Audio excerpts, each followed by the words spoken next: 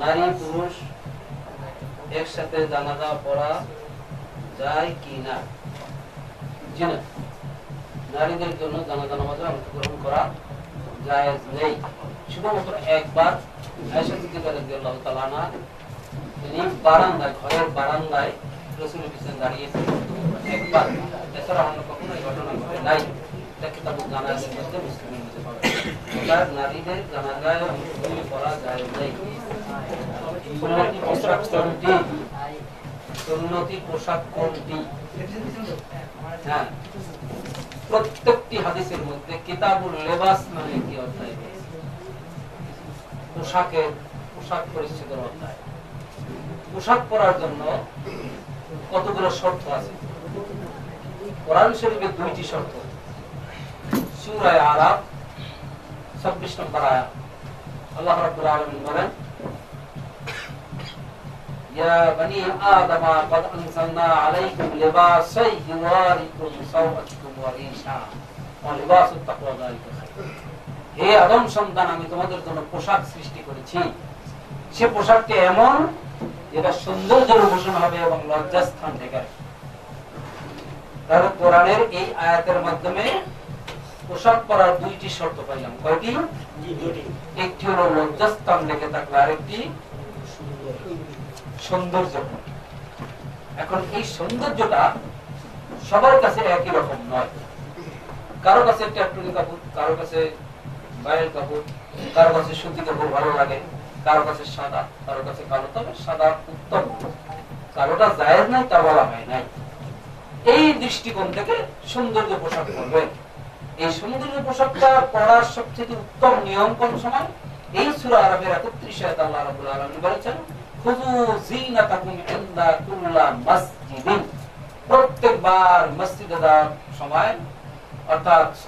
করার সময় সৌন্দর্য অর্জন কর। আমরা সুন্দর পোশাকগুলো পরে শ্বশুর করি যাই, আর সালাত আদায় করে গা দিই এটা কোরআন বিরোধী। ভালো পোশাক পরে সালাত আদায় করতে বলছেন তাহলে কোরআনে কয়টি শর্ত পাইলাম? দুইটি। কয়টি? একটা লজ্জাস্থান ঢেকে থাকবে আর একটা সৌন্দর্য। এই দুইটা। এখন যারা প্যান্ট পরে না শার্ট পরে? সেই প্যান্ট এবং শার্ট পরলে এই আয়াত অমান্য করা হয়। কেমনে? সৌন্দর্য হয় ঠিকই। প্যান্টটা যদি গিরার উপরে হয় তবুও অমান্য করা হয়। গিরার নিচে তো হারাম ইমানদাররা ইদার আহ্বান না গিটের নিচে যার পাজামা বা লুঙ্গি কাপড় ছাড় জায়গা দান নামে যাবে কিন্তু গিটির উপরও যদি পাজামা পরেন তবুও আপনার খরচ তরফ হয় কি করে আপনি তখন শেষ দায়ে যাবেন প্যান্ট পরা শার্ট গায়ে দাও আপনার শেষ দায়ে যখন যাবেন তখন যদি পিছনে কেউ থাকে তখন আমরা লজ্জাস্থান অনুমান করতে পারে এই কথাটা অযৌক্তিক দেখা যেতে পারে বা অনুমান করা যেতে পারে প্যান্টের উপর থেকে লজ্জাস্থান দেখা যেতে পারে। এই জন্য আপনার অন্তত হাঁটু পর্যন্ত যদি একটা জামাও থাকে, অন্তত ওই পিছন দিক থেকে ওটা দেখা যায় একটা লড়াই করে যদি কেউ সরাত আদায় করেন, তাহলে দেখা গেল, সামনে যদি আলো থাকে, পিছনে যদি কেউ দাঁড়ানো থাকে, তাহলে অবশ্যই আপনার লজ্জাস্থান পিছন দিক থেকে দেখা যাবে। কোরআন লজ্জাস্থান দেখে রাখা। তাহলে এখানে কোরআনের আঘাত অমান্য করা হয়।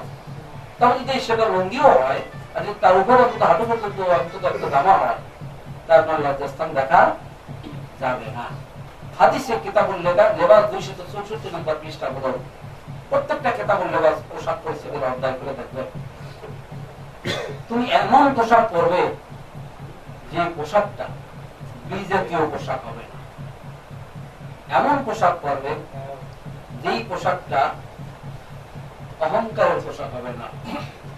কটা হবে? দুইটা আর দুইটা? এমন পোশাক পরবে যে পোশাকটা অহংকারের পোশাক, এমন পোশাক পরা জায়েজ নাই, যেটা গায়েদের নিজেকে বড় মনে হয়? এরকম যদি মনে হয়, তাহলে ওই পোশাক পরা আর বিজেপি পোশাক পরা আর এমন পোশাক পরবে না, যেটা অতিরঞ্জিত। দুইটা গায়ে দিছে, আরও দুইটা উপরে গায়ে এটা অপব্যয় এই অপব্যয়টা করা? যাবে না। চার নম্বরে পাঁচ নম্বরে আরেকটি শর্ত, সেটা এমন পোশাক পরবেন যে পোশাকে শরীর দেখা যাবে না। এমন পাতলা দানা পোশাকটা না হয় যাতে শরীর দেখা যায়। এরকম পোশাক পরা যাবে না। তারপরে যেই পোশাক পরবেন, সেই পোশাকটা যেমন লাল রঙের না হয়, জাফরানি রঙের না হয় হলুদ রঙের না আর এমন পোশাক পরবেন না, যেই পোশাকটা মাটি গড়িয়ে যায়। এই পোশাক পরবেন। না। এইগুলো শর্ত ঠিক রেখে আপনি পোশাক পরবেন। তবে গুলুগুল মারামের চারশত চৌচল্লিশটা পারাদিস আছে, বিজেপি লোকদের সামনে ভাষণ দেওয়ার সময় আর খুব দেওয়ার সময় আল্লাহ রসুল সাল্লাল্লাহু বিশেষ করে লম্বা যুব্ব পড়তেন লম্বা যুব্বা সবসময় পড়তে হবে। এরকম কথা হাদিস কোরআন দিয়ে প্রমাণিত নয়। পাগড়ি সবসময় বাঁধতে হবেই এরকম কথা হাদিস দ্বারা প্রমাণিত নয়। আমাদের দেশে আবার তো নিয়ম আছে, নামাজের সময় গড়গড় করে বান্ধা আবার নামাজ হয়ে গেলে ছেড়ে দেয়। এটাও হাদিস সম্মত নয়। অর্থাৎ পোশাক পরবেন, সৌন্দর্য হবে। লজ্জাস্থান রেখে রাখবেন অহংকারে পোশাক হবে না, অতিরঞ্জিত হবে না, শরীর দেখা যাবে না, মাটি ছেঁচড়ে যাবে না। এই শর্তগুলো রক্ষা করে আপনি পোশাক পরবেন, কেতাবুল নির্বাস আবহাওয়া দুশো চৌষট্টি নম্বর। মক্কা মদিনায় এখন বিশ্বকাপ তারাবি চলে। কিসের? মক্কা মদিনায় বিশ্বকাপ তারাবি নামাজ নয়। নামাজটার নাম তারাবি নয়। তারাবি কোন নামাজের নাম নয়, সলাতের নাম নয়। তারাবিল ইস্তেরাহাত আরাম করে এই সলাতটার নাম হলো কেয়ামুল লাইল, সলাতুল লাইল বা তাহাজ্জুদ।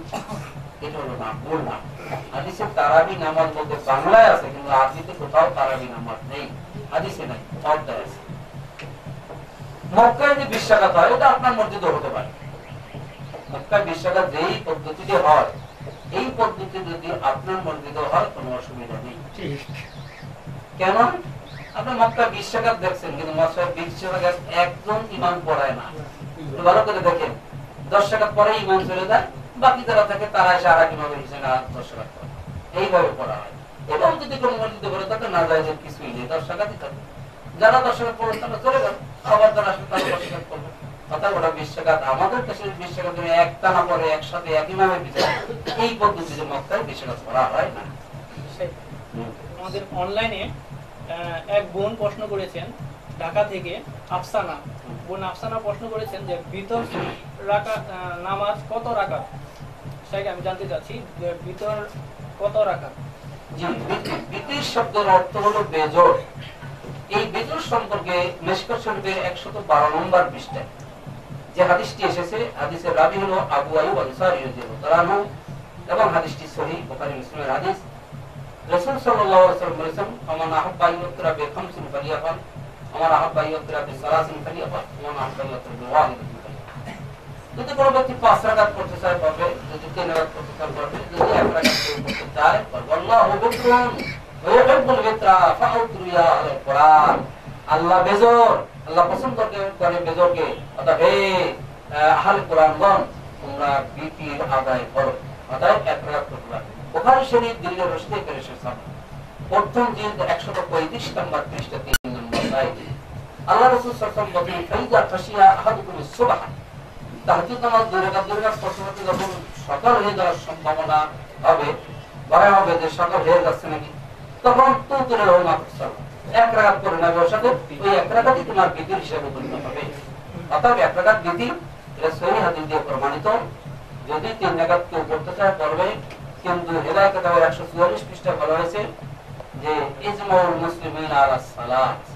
তিন রাকাত বিধির উপরে ইজমা হয়েছে। কোথায় ইজমা হয়েছে? কার সভাপতিতে কোন তারিখে? কেয়ামত পর্যন্ত সময় দিল তারা বলতে পারবে। ঠিক। এর একটা সম্পূর্ণ ভিত্তিহীন সম্পূর্ণ মিথ্যা কথা। তিন উপরে ইজমা হতে পারে না। যেখানে নবী বলছেন পাঁচ পারে তিন পারে এক পারে। নবীর কথার বিরোধিতা হয় যদি কেউ ইজমা মানে। এই ইজমা মানা যাবে না। যে ইজমা কোরআন আদির সম্মত নয় সেই ইজমা মানা যায় না।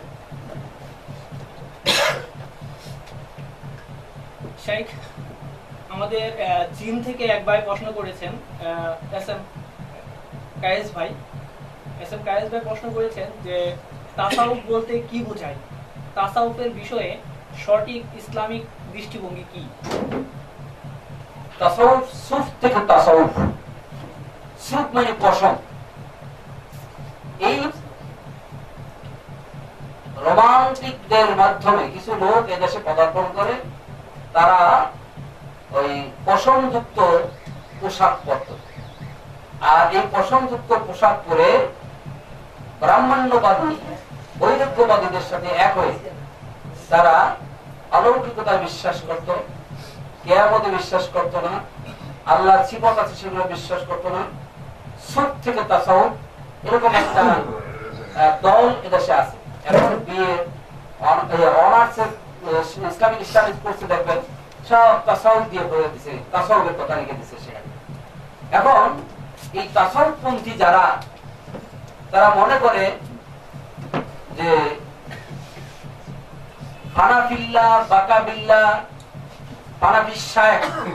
এর মাধ্যমে আল্লাহকে অর্জন করা যায় আসলে এই সুদ থেকে তাসাউপন্থী যারা এই মতবাদ অবলম্বন করছে দুশো একষট্টি থেকে নিয়ে আবির্ভাব। এর কোন অস্তিত্ব রসুলের দিকে পাওয়া যায় না। আর তাসাউপন্থী তাদের এই দেশে যেমন সাম্রাজ্যবাদী, পুঁজিবাদ, সমাজবাদ, তারপরে এই যত বাদ আছে, এই সমস্ত বাদগুলো এদেশে ঢুকছে। ধর্ম নিরপেক্ষ মতবাদের নাম দিয়ে চলছে। আর ব্রাহ্মণ্যবাদ, চৈতন্যবাদ বৈরজ্ঞবাদ এগুলো এদেশে কাজ করছে সুবিবাদের নাম। এই সুবিবাদে তারা বিশ্বাসী, কম বেশি।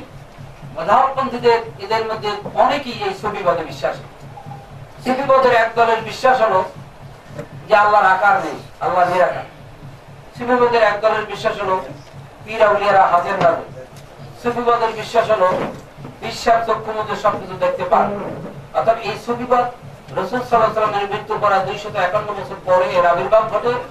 অর্থাৎ এই সুফিবাদের সাথে ইসলামী শরীয়তের দূরের সম্পর্ক নাই এরা চারটা তরিকায় বিশ্বাসী কাতিরিয়া সৃষ্টিয়া নকশবন্দিয়া মজব কাতিরিয়া তরিকার প্রবর্তক হলো আব্দুল কাদের জেলানি রহমতুল্লাহ আলাই এই আব্দুল কাদের জেলানি জন্ম চারশো সত্তর হিজড়িতে আর তিনি তরিকা চালু করেন পাঁচশত দশ হিজড়িতে। মূলত তরিকা হিসাবে চালু হয়ে আসে এই সুবিবাদ এটা রসুল সাল্লাম মৃত্যুর পাঁচশো বছর ধরে। অর্থাৎ এই যে তরিকা সুবিবাদের নাম দিয়ে যে কয়টা তরিকা, যত তরিকা এদেশে আছে তার মধ্যে একটা হলো মাইজ ভান্ডার। এই মাইজ ভান্ডারে তারা সুবিবাদে বিশ্বাসী। তাদের মধ্যে অনেকে দেখবেন নারী পুরুষ সবাই একাত্রিত হয়ে দেখে পারে। দিলের পর্দা, বড় পর্দা, কাপড়ের পর্দা সরিয়ে দাও। দিলের বাতি, বড় বাতি, ইলেকট্রিক বাতি নিভিয়ে দাও। এবার যার যার মনের আশা ঘুরিয়ে দাও। ইত্যাদি ইত্যাদি, যাই হোক। যাই হোক, এর মধ্যে আমাদের বক্তব্য হলো স্পষ্ট। যে যদি সুফিবাদী কোন ব্যক্তির মধ্যে কোরআন, হাদিসের কিছু পাওয়া যায় সেটাকে গ্রহণ করবেন কোনো আপত্তি নেই। তবে যে মতবাদগুলোর সাথে কোরআন হাদিসের কন্ট্রাডিকশন রয়েছে সেইগুলো অবশ্যই আপনাকে পরিহার করতে হবে। তার কারণ কবরে আপনাকে বিসমিল্লাহ আলা মিল্লাতে রাসূলুল্লাহ বলে রাখা হবে বিসমিল্লাহ আলা মিল্লাতে অমুক সুবি বলে রাখা হবে। কুড়িয়ে পাওয়া জিনিস সম্পর্কে ইসলামের বিধান কি? যদি কোনো জিনিস কুড়িয়ে পান সেটার সাথে সাথে আর একজন লোককে সাক্ষী রেখে একটা থলের মধ্যে পুরে মুখটা বেঁধে রাখবেন মুখটা বেঁধে রেখে এক বছর পর্যন্ত ঢেরা দিবেন এক বছর পর্যন্ত জানাবেন যে কিছু টাকা পাওয়া গেছে বা কিছু মাল পাওয়া গেছে উপযুক্ত প্রমাণ দিয়ে নিয়ে যান এক বছর ঢেরা দিবেন ঢেরা বুঝেন এক বছর পরে যদি কোনো মালিক পাওয়া না যায় তখন আমরা দুইটি রাস্তা। একটা আপনি নিজে ভোগ করতে পারবেন দ্বিতীয়ত যদি আপনি গরিব না হন ভোগ না করেন আপনি আল্লাহ রাস্তায় দান করে দেবেন। এই নিয়তে যে আল্লাহ এই জিনিসটি যার সবটা যেমন সে ব্যক্তি পেয়ে যায় এই নিয়তে দান। এই বিষয়ে একটা প্রশ্ন। আমরা যদি সাথে সাথে মসজিদে দান করে দেই তাহলে কি কোনো ভুল হবে? এটা ভুল রসুল সুন্নাত মোতাবেক হবে এক বছর রাখতে হবে এক বছর রাখতে হবে এবং শুধু রাখলে হবে না। এবং অনলাইন থেকে আরেকটা প্রশ্ন নেব। আমাদের এক ভাই অত্যন্ত ইম্পর্টেন্ট একটা প্রশ্ন করেছেন আহ, আশরাফুল ইসলাম। তিনি প্রশ্ন করেছেন যে ইসলামিক শরিয়াতের দৃষ্টিকোণ থেকে শিয়াদের অবস্থান কোথায়? শিয়াদের স্বরূপটা একটু বিশ্লেষণ করে বলবেন কি? ইসলামী- শরীয়তের দৃষ্টিতে শিয়াদের আকিদা কোরআন বিরোধী প্লাস হাদিস বিরোধী। শিয়া সর্বপ্রথম আবিষ্কার হয় আব্দুল্লাহ বিন সাবাক থেকে। আব্দুল্লাহ বিন সাবাক থেকে এই মতবাদের আবিষ্কার সর্বপ্রথম চালু হয়। তাদের একটি আকিদা হলো আল্লাহর সিফাতকে তারা অস্বীকার করে। এবং তাদের লিখিত কিতাব এমনি বাবাই আর তাওহীদ এই কিতাবটি সাতান্ন পৃষ্ঠায় পাবে। তারা কেয়ামতকে অস্বীকার করে, তার প্রমাণ বিহারুল আনোয়ার চতুর্থ খণ্ড তেরো নম্বর পৃষ্ঠায় পাবে। যদি কেউ আল্লাহর আকার আছে এটা বিশ্বাস করে, সে ব্যক্তি মোরতাদ হয়ে যাবে। তাদের লিখিত কিতাব বিহারুল আনোয়ার চতুর্থ খণ্ড তেরো নম্বর পৃষ্ঠায় লেখা রয়েছে। অথচ কোরআন শরীফের মধ্যে আমরা দেখতে পাই বোখারি হাদিসেও রয়েছে এবং কোরআন শরীফের সূরা কিয়ামা এর 22 এবং 23 নম্বর আয়াত আল্লাহ নাযিরা সেদিন অনেক চেহারা আহ, মুখমণ্ডল উজ্জ্বল হবে এবং আল্লাহর দিকে এরকম তাকিয়ে থাকবে। তা যদি আকার না থাকে, তাহলে তাকিয়ে থাকবে কি করে? এই হলো তাদের আকিদা। আরও আছে, পবিত্র কোরআন মাজিদ সম্পর্কে তাদের আকিদা হলো, বর্তমান যে কোরআন রয়েছে, এই কোরআন ঠিক নয়। কারণ মূল কোরআন একমাত্র আলী তাআলা ছাড়া আর কেউ সংরক্ষণ করেন নাই। প্রমাণ উসুলুল কাফি এর 240 নম্বর পৃষ্ঠা। মূল কোরআনে আয়াত সংখ্যা হলো 17000 এই কোরআনের আয়াত আছে 6336টি আর মূল কোরআনে আয়াত হলো 17000 তাদের কিতাব উসুলুল কাফি এর দ্বিতীয় খণ্ড 335 পৃষ্ঠায় রাখা রয়েছে। সাহাবীদের প্রতি তাদের বিশ্বাস। নবী আলাইহি মৃত্যুর পর তিনজন বাদে আর সবাই মুক্তাদ হয়ে গেছেন। তিনজন হলো Miqdad ibn Aswad, Abu Zar Gifari আর সালমান ফারিসি। প্রমাণ ফুরু আল কাফি 115 নম্বর পৃষ্ঠা তাদের আরও রয়েছে?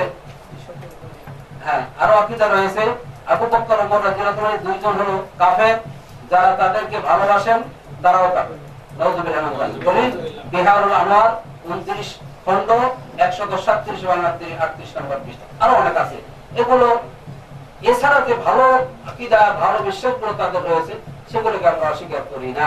অর্থাৎ এই যে কথাগুলো বলা হলো, তাদের পৃষ্ঠার হাদিস, তাদের বইয়ের উদ্ধৃতি দিয়ে বলা হলো, এগুলো যদি তারা সত্যি বিশ্বাস করে, আর এই বিশ্বাস তারা যদি বিশ্বাস হয়, তাহলে আমরা তাদের সাথে একমত আলোচনার পরে আমি একটা বিষয় বলতে চাচ্ছি যে, আমাদের সমাজে দেখা যাচ্ছে যে, যারা সহি অনুসারে সলাত আদায় করেন, তাদেরকেও শিয়া বলে মানে ইয়ে ডাকা হয় এবং তাদেরকে শিয়া আখ্যায়িত করা হয়।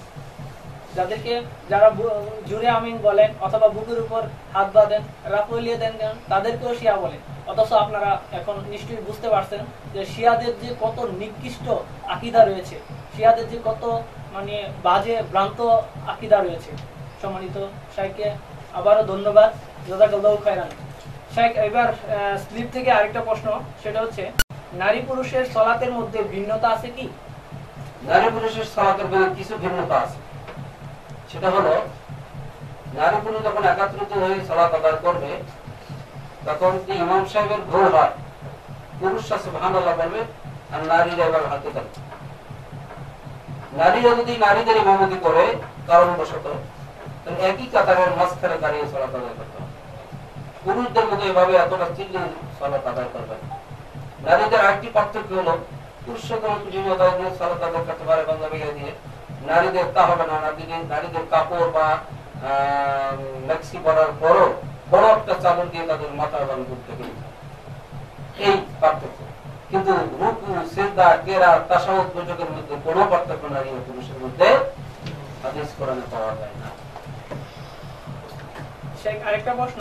উলামারা হচ্ছেন নবীদের ওয়ারিস এটা কি হাদিস কিনা? হাদিসটা তিরমিজিতে আছে। হাদিসটা নিয়ে কি লোকাল আছে আলমা ওয়ারাসাতুল আম্বিয়া নবী রাসূলুল্লাহ রাহমাতুল্লাহ রাহমা। আলমরা নবীদের ওয়ারিস তারা টাকা পয়সা ওয়ারিস তবে সূরা ফাতিরের 28 নম্বর আয়াতে আল্লাহ পাক বলেন ইন্নামা ইয়াখশাল্লাহ মিন ইবাদিহিল উলামা। নিশ্চিত পৃথিবীর বুকে প্রকৃতপক্ষে আল্লাহকে ভয় করলে আলেমরা ঠিক করে থাকেন কিন্তু সেই আল্লাহর ভাষায় যে আলেম বলা হয়েছে সেই আলেম আর আমরা এক কিনা এটা দেখার বিষয় খতিয়ে দেখার বিষয়। আল্লাহর পন্থার যারা আলেম হবে তারা সব সময়ের জন্য আল্লাহকে ভয় করে চলবে, আল্লাহর আইন কানুন মতো চলবে। চতুর্দিকে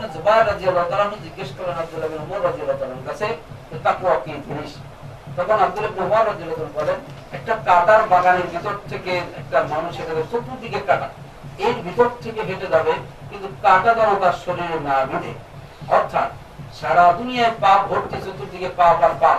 এই পাপের ভিতরে সে জীবন যাপন করবে, কিন্তু পাপ যেন তাকে স্পষ্ট না করে। পাপ থেকে যে ব্যক্তি এড়িয়ে চলবে সেই আলম সেই ব্যক্তিকে আল্লাহর আলম বলা আমি শিখলাম, কোরআন শিখলাম, দাঁড়িয়ে সাজলাম, নামাজও না, মিথ্যা কথা বললাম কম দিলাম, মানুষের বন্ধুদের জমি ঠকাই গেলাম এইরকম হাজি এরকম গাজি এরকম আলেমের মূল্য আল্লাহর কাছে নেই। সত্যিকারের প্রকৃতপক্ষে আল্লাহকে ভয় করে, আল্লাহর আদেশকে আদেশ মনে করে আল্লাহ নিষেধকে সঠিকভাবে জেনে, নিষেধকে নিষেধ পরিহার করে যে চলে তাকে। জাযাকাল্লাহু খাইরান শাইখ। শাইখ আমরা যে ওয়েব যে চ্যাট রুমের সাহায্যে আমাদের আজকের এই ইসলামী সেমিনারটাকে সরাসরি সারা পৃথিবীর বুকে লাইভ করতেছি সেই চ্যাট রুমের সম্মানিত অ্যাডমিন জনাব আহ, কাইয়ুম ভাই ইতালি থেকে একটা প্রশ্ন করেছেন যে শাইখ শরীয়ত মারফত তরিকত ও হকিকত কি? এভাবে কে ভাগ করেছেন? সংক্ষিপ্তভাবে বললে খুশি হব। শরীয়ত তরিকত হাকিকত মারেফত। আসলে কোরআনে বলেছে সারা আলাকুম দিন শরীয়ত হলো পূর্ণাঙ্গ জীবন ব্যবস্থা। মারেফত আরাফত থেকে মারেফত পরিচিতি। হাকিকত মানে মূল ভিত্তি আর তরিকত তরিকত রাস্তা। এই শরীয়তকে পাওয়ার জন্য কে বা কারা নামবিহীন অবস্থায় এই তরিকার আবিষ্কার হয়েছে। সৃষ্টিয়া এতে যেমন এক তরিকা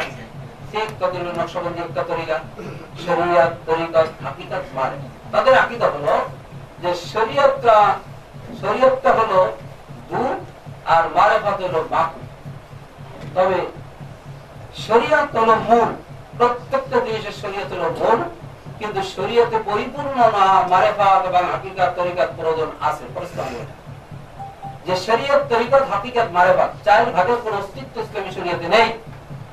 আল্লাহ এবং আল্লাহ রসুলের মাধ্যমে কোরআন কোরআন এবং সৈয়দের মাধ্যমে তরিকাত হাকিকাত মারেফাতের কোন স্থান ইসলামী শরীয়তে নেই। এখন প্রশ্ন হলো, এই হাকিকত, তরিকাত, মারেফাত এই তিনটা শরীয়ত পূরণ করার জন্য প্রয়োজন আছে কি?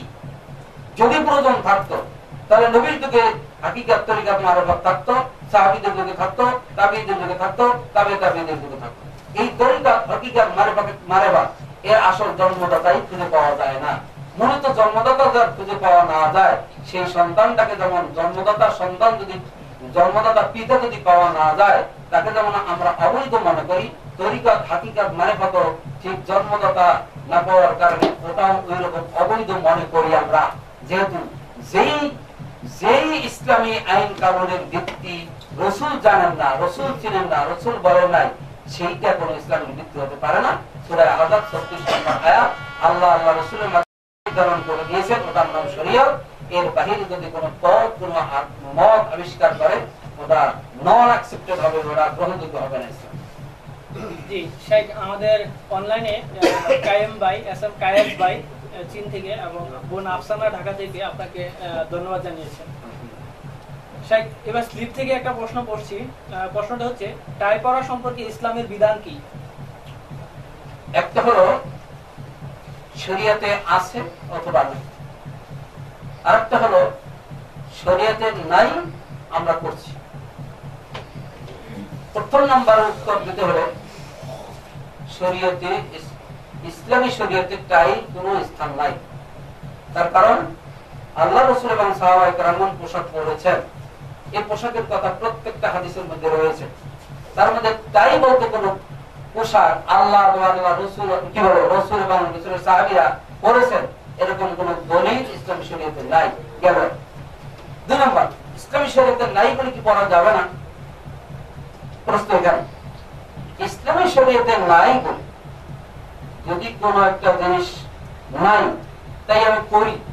এটা পড়লেই বেদাত হবে কথাটা এরকম নয় ইসলামী শরীয়তে নাই, সেই কাজটা যদি কেউ করে, সেটা বেদাত হবে। এ কথাটি সত্য নয়। বেদাত বেদাতের সংজ্ঞা হলো, মা আহাদাসা ফি আমরিনা আইদিনা ফালাইসা মুবারক যে জিনিস রাসূল সাল্লাল্লাহু আলাইহি সাল্লামের জীবদ্দশা বা তার শরীয়তের মধ্যে নাই, এইরকম জিনিসকে যদি কেউ শরীয়ত মনে করে তাহলে সেটা বেদাত। যেমন চেয়ারটিতে বসে আছি, এই চেয়ারটিতে তো রসুল জীবনে বসেন না তাহলে এটা কি বেদাত হবে? হবে বাংলা আমি কথা বলি রসুল সাল্লাম জীবনে বাংলা কথা বলেন নাই এটা কি বেদাত হবে? হবে বাংলাদেশে আমি বসবাস করি রসুল বাংলাদেশে বসবাস করেন নাই এটা কি বেদাত হবে? হবে না কারণ একটি।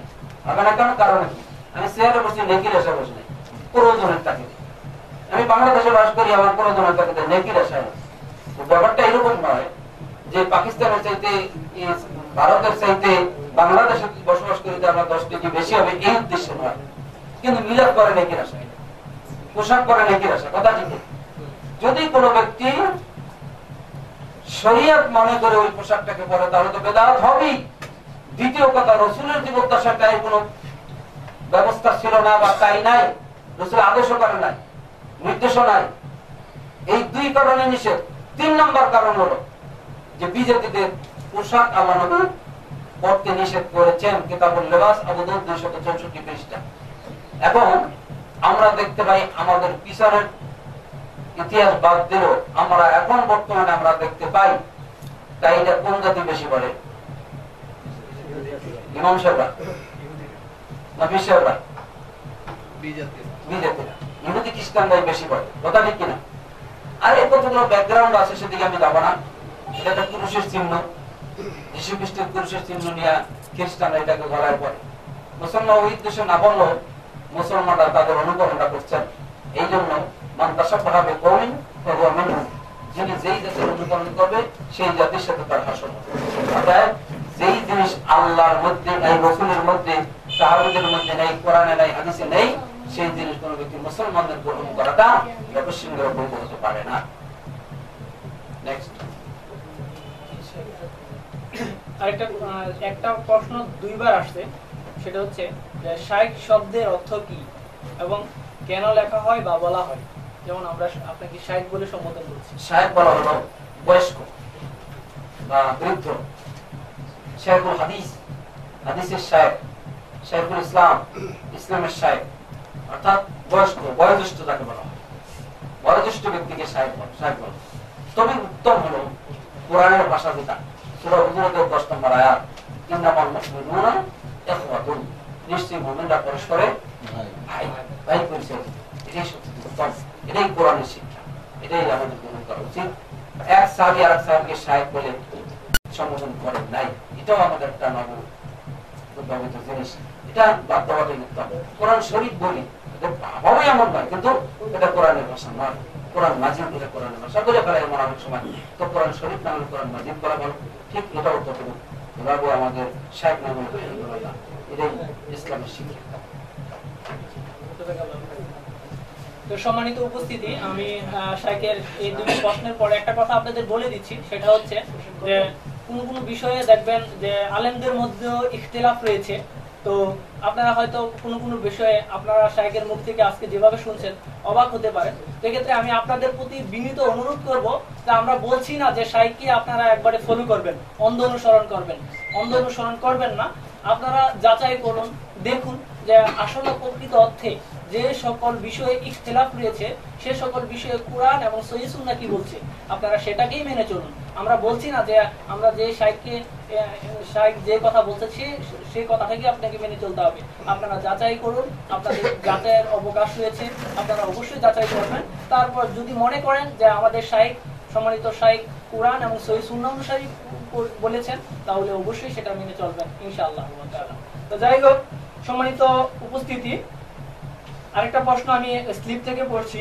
যদি কোনো মাঝহাবি ইমামদের পিছনে নামাজ আদায় করা হয়, তাহলে নামাজ কতটুকু বিশুদ্ধ হবে?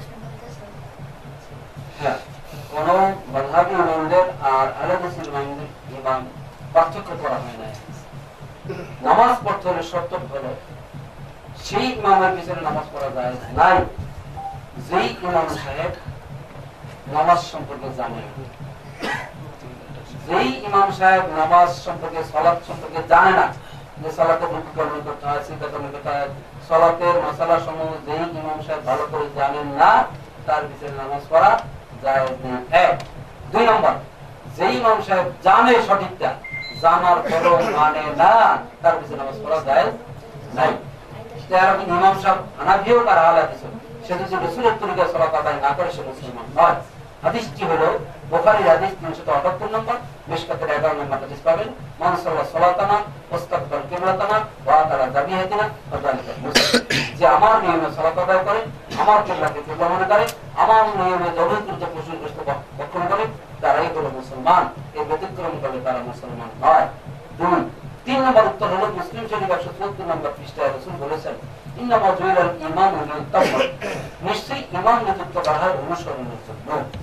কাব্বারা ফাকাবুল ইদা দাদা ইদা সাদাদা ফাকিদু ইমাম যখন রুকু করে তোমরা রুকু করে ইমাম যখন সেটা করে তোমরা সেজদা অর্থাৎ এভরিথিং ইমাম যা যা করে তোমাদের তাই দিতে। দেখেন অবস্থা এদেশের ইমাম সাহেব আল্লাহ করে মুক্তাদির আল্লাহ করে ইমাম সাহেব হক করে মুক্তাদির হক করে ইমাম সাহেব সানা করে মুক্তাদির সানা করে ইমাম সাহেব রুকু করে মুক্তাদির রুকু করে ইমাম সাহেব রুকু দোয়া করে সিদ্ধা দোয়া করে মুক্তাদির তাই করে তাসাউদ করে দূর করে কিন্তু পড়তে পারবে না সূরা ফাতিহা যেটা না পড়লে নামাজই হবে না, সেইটা এখন বুঝেন এটা আসলে কেন তো যেটা বলতে চেয়েছিলাম, সেটা হলো ইমাম নিযুক্ত অনুসরণ, ইমাম যা করে মুক্তাদের তাই এখন ইমাম সাহেব হাত বাঁধা না বিনেছি আপনি হাত বাঁধলেন কুকুর অথবা ইমাম সাহেব বাঁধলো কুকুর বলে আপনি বাঁধলেন না বিনেছি আপনার হবে ইমাম সাহেব যা করে, আপনার তাই কারণ আপনি বুঝে আপনি কি বুঝে হাত বাঁধা সারা ছেড়ে দিয়ে নামিনে নিচে বাঁধবেন না নামিনে নিচে ছেড়ে দিয়ে বুকে হাত বাঁধবেন এখন আপনার জানা দরকার কোনটা ঠিক? যেটা ঠিক সেটা আপনার করতে হবে। ইমাম সাহেব যদি শিক্ষা না থাকে ওই ইমাম নামাজ আপনি করবেন আশা করি এই ক্ষেত্রে আমি একটা প্রশ্ন করতে চাই। আমি একটা প্রশ্ন করতে চাই যে আমরা আমাদের নর্মালি এলাকায় যা আছে, সব ইমাম সাহেবই নাবির নিচে হাত বাঁধেন। তাহলে আমরা যারা জানতে পারলাম যে নাবির বুকের উপরে হাত বাঁধতে হবে, তাহলে আমরা তাদের পিছনে নামাজ পড়তে গেলে আমাদের মনে সন্দেহ হয় যে নামাজ হবে কিনা। এক্ষেত্রে কি আমরা মসজিদে নামাজ না পড়ে বাড়িতে নামাজ পড়তে পারব? নামাজ পড়লে হবে? জামাত ত্যাগ করব কিনা? নামাজ যেই ইমামের পিছনে সলাৎ হবে না, সেই ইমামের পিছনে সলাৎ আদায় না করে একা পারাবেন তুমি কিছু পাবে নামাজ এখন নাবির নিচে আর বুকে হাত বাঁধা। দুইটার কথা হাদিসে আছে। নাবির নিষেধটাও আছে, বুকের উপরেরটাও আছে। নাবির নিষেধটা সঠিক নয়। মুসলিম শরীফের একশো চুয়াত্তর নম্বর পৃষ্ঠা নবমী দশ নম্বর লাইনে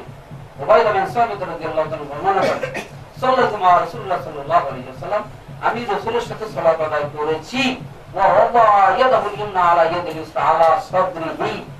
আমি দেখেছি রাসূল বাঁধ উপরে ডানাত রেখে আলামনি বলে সদরমনি ছিনা বুকের উপরে হাত বেঁধেছেন। বলেছেন। এবং আবু শরীফ যদি আপনারা দেখেন, তাহলে দেখবেন আবু দাউদের ইসলামিক ফাউন্ডেশন প্রথম খন্ড সাতশত ছাপ্পান্ন, সাতান্ন, আটান্ন এই চারটি আদেশের মধ্যে তিনটে হলো নামিন নিচে বান্দা, তিনটা লেখক ওদের আসা এবং জয় আর উনষাট নম্বর হাদিসটা বুকে বাঁধার কথা বলে এরপরে ওই নববী একশো চুয়াত্তর পৃষ্ঠায়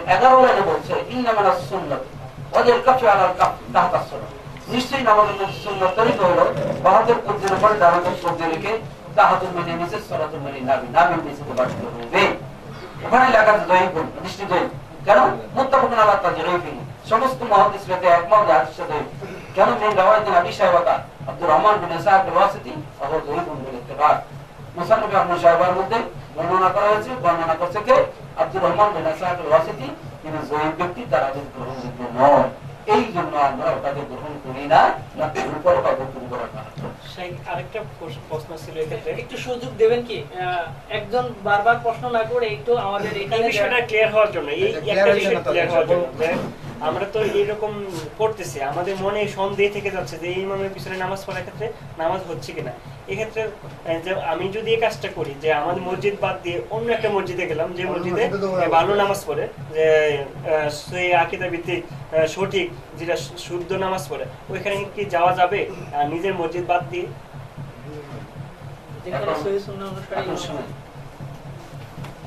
অনেক কথা আছে যা বলতে গেলে অনেকে সহ্য করতে পারবে সঠিকটা জানা দরকার। তবু সঠিকটা বলতে হবে। সঠিক যদি বলবে আল্লাহ তাকে সাহায্য করবে। আল্লাহ নবীকে নবীর জীবন দশায় উভয় একটা মসজিদ তৈরি করেছিল মোনাফিকরা। মূলত এখানে ইসলামের ক্ষতি করার জন্য মসজিদ করেছিলেন।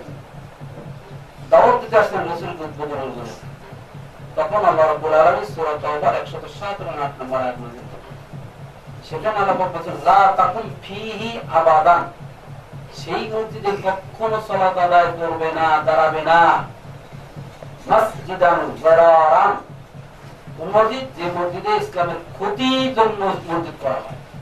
অর্থাৎ রসুলের তরিকায় যে মসজিদে সলাত আদায় না হয় রসুলের তরিকা মোতাবেক যে মসজিদে ওয়াজ নসিহত না হয় রসুলের তরিকা মোতাবেক মানুষকে হেদায়ত যে মসজিদে দেওয়া না হয় সেখানে করতে নিষেধ করা হয়েছে এই আয়াতে। ওয়া কুফরান যে মসজিদে কুফুরি করা হয় সেই মসজিদে সলাত আদায় করা যাবে না। আমি কোন দলের নাম বলছি না। কুফুর শব্দের দুইটা অর্থ কয়টি? আর কামুসুল বহিদ লেসানুল আরব বড় আরবি ডিকশনারি এর মধ্যে একই অর্থবোধক শব্দ। এর মেইন অর্থ হলো দুইটা ঢেকে রাখা, গোপন সত্যকে জানে, জানার পরও বলে না, গোপন রাখে। আর সত্যকে বলার পরে ঠিক ওঠে ওঠে স্বীকার করে না। এই দুইটে গুণ যেই মসজিদের মুসল্লি বা কমিটির ভিতরে থাকবে, সেই মসজিদে নামাজ পড়া যাবে না। ও তাফরিকাম বাইনাল এটা কিন্তু কোরআনের আয়াত বলতেছি। ও তাফরিকাম বাইনাল মুমিনিন। আর মুমিনদের মধ্যে জানা নাকি দলে দলে ভাগ করছে আল্লাহ বলছে এক দল হইতে তারা ভাগ ভাগ করে নিয়েছে। এই ভাগ ভাগ যারা করছে ভাগ ভাগে যারা বিশ্বাসী তাদের মসজিদে নামাজ পড়তে আল্লাহ নিষেধ করেছেন। কোরআন শরীফ নয় নম্বর সূরা তওবা 107 এবং 8 নম্বর আয়াত। আশা করি বুঝতে পেরেছেন। জাযাকাল্লাহ খাইর। এ- এভাবে প্রশ্ন করবে জি। আমি অত্যন্ত বিনয়ের সাথে একটা প্রশ্ন করতে চাই যে আমাদের দেশে প্রায় নাইনটি বা নাইনটি টু পার্সেন্ট মুসলমান আছে। এবং আমাদের দেশে অসংখ্য মসজিদ আছে। এই মসজিদে আমরা যখন নামাজ পড়তে যাই, তখন দেখি প্রচুর মুসলমানও মানে মুসলিমই আছে আর কি। এবং স্থির করা ঠাই থাকে না যখন মসজিদে আমরা নামাজ পড়তে যাই। এবং আমাদের দেশে অনেক নামি দামি কিংবা উচ্চ ডিগ্রিধারী আলিম সমাজ আছে, যারা বিভিন্ন স্থানে ওয়াজ নসিহত করে। মানুষকে হেদায়ত করে ওয়াজ নসিহতের মাধ্যমে। তারপরে আমরা সমাজে দেখি ইসলামের এত মূল্যবোধ এত অবক্ষয়।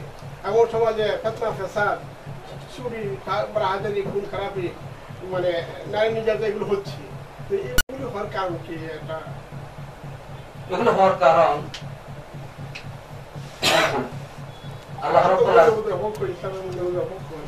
আলামিন সূরা নাহলের 97 নম্বর আয়াতে একটা শর্ত দিয়েছেন এই সামাজিক অবক্ষয় থেকে বাঁচার জন্য মান আমিলা সালিহাম মিন যাকারিন আও উনসা ওয়া মুমিন যেই ব্যক্তি নারী অথবা পুরুষ হোক ঈমান আনার পরে যদি সঠিক আমল করে লানুহিয়ান্নাহু হায়াতান তাইয়্যিবা তাহলে আমি আল্লাহ তাকে শান্তির জীবন দান করব এক সূরা বাকারা 82 নম্বর আয়াতে বলছে إن الذين آمنوا وعملوا الصالحات لهم جنات تجري من تحتها الأنهار خالدين فيها أبدا নিশ্চয়ই যারা ঈমান আনার পরে বিশুদ্ধ আমল করবে, আমি আল্লাহ তাদেরকে চিরদিনের জন্য জান্নাত নসিব করব। সূরা নূরের পঞ্চম আয়াতে আরদ যদি সঠিকভাবে আনার পরে যদি আমল সঠিক করে, তাহলে আমি আল্লাহ তাদের রাষ্ট্রীয় ক্ষমতা তাদের- হাতে এনে এটা আল্লাহর ওয়াদা। এখন আমাদের ইমানও ঠিক নাই, আমলও ঠিক নাই, যার কারণে আমাদের ক্ষমতা এই এক। দ্বিতীয় কথা যে যারা এই বড় বড় আলেমরা আছেন তারা অবশ্যই ভালোর জন্য মানুষদেরকে দাওয়াত দেয় আমি স্বীকার করি, ভালোর জন্য দাওয়াত দেয়। কিন্তু ভুল থাকতে পারে। ভুলগুলো থেকে যদি শুধরিয়ে নেয়, তাহলে হয়ে যায়। কিন্তু মুশকিল হলো, আমার হুজুর কি বুঝে নাই ওনার থেকে? উনি কি বেশি বুঝছে? এই যে কোরআন, এই কোরআন দেখে। যারা নাকি এই দেশের মহান মাহাবিল হেদায়ত বড়ের মানুষদেরকে তাদের উদ্দেশ্য অবশ্যই ভালো আল্লাহ যে বলছিলাম, টুপি আছে দাঁড়িয়েছে জুতো আছে দিয়ে বিশ্বাস করে ভুগতেছে উনি খাই দেয়নি তার টুপি দাঁড়িয়ে তাকে জীবন বাঁচাইতে পারবে না। ঠিক ওয়াজ করলেই হবে না ওয়াজ করার জন্য শর্ত আছে। ওয়াজ করার জন্য দুইটা শর্ত দিয়েছেন আল্লাহ। সুরায় নাহরের 43 এবং 44 নম্বর আয়াত। বিল বাইয়িনাত ওয়া যুবুর ডিটেইলস ভাবে বলতে হবে। ব্যাড সাইড গুড সাইড হক থেকে বিপক্ষ থেকে এই দুইটা বলতে হবে আর বিস্তারিত বলতে হবে। শুধু আমার দল রাইট করার জন্য আমি কথা বলে গেলাম। অন্যটা বললাম না, তা নয়। দুই পক্ষের দলিল উপস্থাপন করতে হবে, যার যেটা খুশি। হয় মানবে না হয় না মানবে আল্লাহ নবী বলছেন আমার আলাই না ইল্লার বালা। পৌঁছিয়ে দেওয়া ছাড়া কোনো দায়িত্ব নেই। অর্থাৎ পৌঁছিয়ে দিতে হবে যে সমস্ত আলেমারা আছেন, তাদেরও উচিত সব জিনিসকে যাচাই বাছাই করে বলা। যদি সকলেই আমরা যাচাই বাছাই করে বলি, তাহলে আশা করা যায় এই দ্বন্দ্ব, ফাসাদ এবং সামাজিক অবক্ষয় অনেকটা কমে আসবে ইনশাআল্লাহ বিশ্বাস। আর হিংসা বিদ্বেষ ঘৃণা অহংকার করে বকুলিয়ে করে এগুলো আমাদের দূর করে আহ, বন্ধনে আবদ্ধ হয়ে একে অপরের প্রতি সহানুভূতিশীল হয়ে কথা যদি বলি তাহলে আশা করি আমাদের মধ্যে যন্ত্রণা থাকবে না ইনশাআল্লাহ। আহ, অনেক রাত হয়েছে। আহ, এই ভাই একটা প্রশ্ন শুধু। জি জি অবশ্যই প্রশ্ন করবেন। কি বলছি একটু শুনুন। সেটা হচ্ছে যে অনেকগুলো প্রশ্ন আসছে স্লিপে। এবং ইন্টারনেটেও অনেক প্রশ্ন আসছে সরাসরি অনেকে প্রশ্ন করতে চাচ্ছেন। আপনারা দেখতে পাচ্ছেন যে আহ, সন্ধ্যা থেকে নিয়ে একবারে লং টাইম ধরে লেকচার দিচ্ছেন। এরপরও জাজাকাল্লাহ খাইরাম আমি মহান আল্লাহ সুবহানাহু তাআলার কাছে দোয়া করছি আল্লাহ যেন আমাদের সম্মানিত শাইখকে উত্তম জাজা খায়ের দান করেন যে এত পরিশ্রম করে এত লং টাইম ধরে আমাদেরকে সময় দিচ্ছেন জাজাকাল্লাহ খাইরাম তো যাই হোক আহ, আমরা প্রশ্নের সাথে সমন্বয় করার জন্য একটা প্রশ্ন নেব অনলাইন থেকে। আর একটা প্রশ্ন নেব স্লিপ থেকে আরেকটা সরাসরি। কি বলেন আপনারা? আর আমি সাইকের প্রতি অনুরোধ করব যদি কষ্ট হয় আপনি আমাকে একটু বলবেন ইনশাআল্লাহ। আমরা সংক্ষেপ করে দেবো ইনশাআল্লাহ। আর যে সকল প্রশ্ন সংক্ষেপ করা যায় সাইকে আমি অনুরোধ করব যে সেগুলো সংক্ষেপ করলেই হবে ইনশাআল্লাহ। তো যাই হোক আমরা অনলাইন থেকে আরেকটা প্রশ্ন নিচ্ছি। আমাদের আহ, ইতালি থেকে দুঃখিত বুড়ে কেউ লিখবেন না। বুড়ে কেউ লিখবেন না, আমি উপরের প্রশ্নটা পড়ছি। কায়ুম ভাই প্রশ্ন করেছেন ইতালি থেকে যে চাকরি করে নামাজ পড়ে, কিন্তু ঘুষ ও অন্যান্য শরীয়ত বিরোধী কাজ সবার আগে করে, সক্রিয়। তাদের নামাজ, ইহকাল, উপরকালে কি আছে?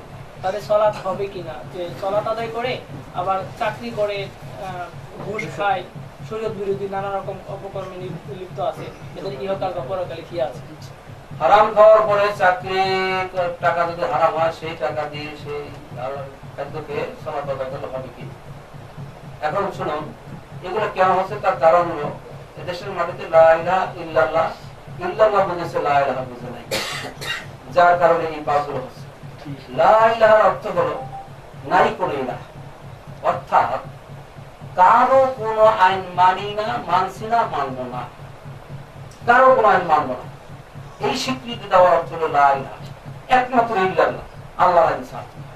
আল্লাহর আইন ছাড়া অন্য কারও আইন মানবো না, এটা হলো লা ইলাহা দাবি। এখন কারও আইন মানবো না অর্থ কি? চুরি করব না, জেনা করব না ব্যভিচারী করব না, মিথ্যা করব না আরাম খাব না, এগুলো সব কোরআনের কথা। এগুলো করব না, যত না আছে, সব না বাদ দিলাম লা ইলাহা দিয়ে আর যত হা আছে, সব গ্রহণ করে নিলাম ইল্লাল্লাহ।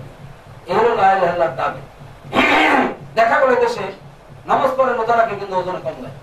তার মানে সে ব্যক্তি ইল্লাল্লাহ বুঝেছে টুপি দাঁড়িয়ে যুদ্ধ আবার এগুলো ইল্লাল্লাহ অর্থ এগুলো বুঝেছে কিন্তু লাইলাহা বুঝতে নাই। যদি লাইলাহা বুঝতো এদেশের মাটিতে তাহলে এদেশের মাটিতে এক হুজুর কথা শোনা আর এক হুজুরের কর্ম হতো না। এদেশের সব থেকে বড় রোগ এইখানে। লাইলাহা বোঝানো হয় না ইল্লাল্লাহ বোঝানো হয়। তুমি মাথা দেন বাবারা কাঁদেন কাঁদেন নামাজ পড়ে রোজা রাখেন পরে গেলে দান মতো যাইতে পারবেন এগুলো বোঝানো হয়। কিন্তু এইটা করবা না এইটা করবা না এইটা হারাম এইটা হারাম। এই নিষেধটা করে না তার কারণ নিষেধটা বলতে গিয়েই সব নবীরা বাইক সব নবীরা হক, হকের দাওয়াত দিতে যাই মার খায় নাই, অন্যায়ের বিরুদ্ধে কথা বলতে যাই মার খেয়েছেন, আজও হক কথা যারা বলে, তারাই হলো দুশ্মন মানুষদের। এখন হারাম যদি কোনো ব্যক্তি খায়, সে ব্যক্তি দেয় না দেয় বলেন, সুরে পঁয়তাল্লিশ নাম্বার। নিশ্চয়ই ইংরেজি নিশ্চয়ই অবশ্যই সলাতে যে সলাত আদায় করে তাকে সকল পাপ থেকে বিরত রাখবেন। সলাত আদায় করে, এরপরে ঘুষ খায় সলাত আদায় করে, এরপরে সরকারি চাকরি করে, যেই চাকরির মধ্যে হারাম টাকা আছে টাকা আছে, যেই যেখানে ঘুষের টাকা আছে, সুদের টাকা আছে, সেই টাকার চাকরি করে সে ব্যক্তি রোজগার করতেছে আর সলাত আদায় করতেছে, বুঝতে হবে অবশ্যই তার কবুল হয় নাই। সলাৎ কবুল সে হারাম খাইতে খাইতে পারে না। আর মনে রাখবেন, হালাল খাদ্যটা নির্ভর করে। সঠিক ইবাদতের মানে সঠিক ইবাদত নির্ভর করে হালাল খাদ্যের উপর। যেই ব্যক্তি হালাল খাদ্য খাবে না সে ব্যক্তির ইবাদত কবুল হবে না। মনে রাখবেন আপনার বাড়িতে থাকেন আপনার বাবার ঘরে আপনার ওই ঘরে নামাজ হবে কিনা সন্দেহ। যেই ঘর আপনি তাহাকিক করেন না যে আপনার বাপে যে ঘরটা তুলছে আপনার বোনের জায়গা ঠকাইয়ে সেইখানে পেয়েছে কিনা? বা ঘুষের টাকা দিয়ে ঘরটা তুলছে কিনা? এটা যদি হয়ে থাকে ওই ঘরে নামাজ পড়লে আপনার নামাজ হবে। আপনার বাবার জমি ওই জমিতে ধান বিক্রি করে জামা গায়ে দিচ্ছেন ওই জামা গায়ে নামাজ পড়তে ও নামাজও হবে না। তার কারণ জানতে হবে আগে, আমার বাবা এই জমিটা কিনেছেন ঘুষের পয়সা দিয়ে না সুদের পয়সা দিয়ে, না বন্ধু জমি টাকা এই জামা জায়গাটা রাখছে এটা তাহাকিক না করা পর্যন্ত আপনার ওই জামা গাইতে নামাবো হবে এইভাবে প্রত্যেকটি তাহাকিক করে, যাচাই বাছাই করে ভেরিফিকেশন করে, তারপরে যে ব্যক্তি চলবে, সেই ব্যক্তিকে সলাত আদায় করতে বলছে। আকিমুস সলাত বলছে, আকরাউস সলা বলে না ইকরাউস সলা বলে না। সলাত নামাজ পড়ো, এ কথা বলে না সলাত কায়েম করো আনিল্লাহ মরিদুম সলাতের আগে যত পাপ আছে এই সমস্ত পাপ থেকে ফিরে থেকে তারপরে যারা সলাতে আদায় করে, সলাত আদায় করো তাদের সলাটটি হলো আল্লাহ গ্রহণযোগ্য আল্লাহ গ্রহণ করবেন। বেসুরা মহামানের প্রথম দিকে পাবেন। একটা প্রশ্ন সরাসরি। এবার একটা প্রশ্ন ছিল। মানে একসাথে চারটা প্রশ্ন। প্রথম প্রশ্নটা হচ্ছে, আহলে হাদিস অর্থ পূর্ণাঙ্গ বিশ্লেষণ আহলে হাদিস অর্থ আমাদের গ্রামে দুই চারটা দল আছে যাতে দুই চারটা নাম বলি যাতে আমি আমার উত্তরটা সঠিকভাবে বুঝতে পারি।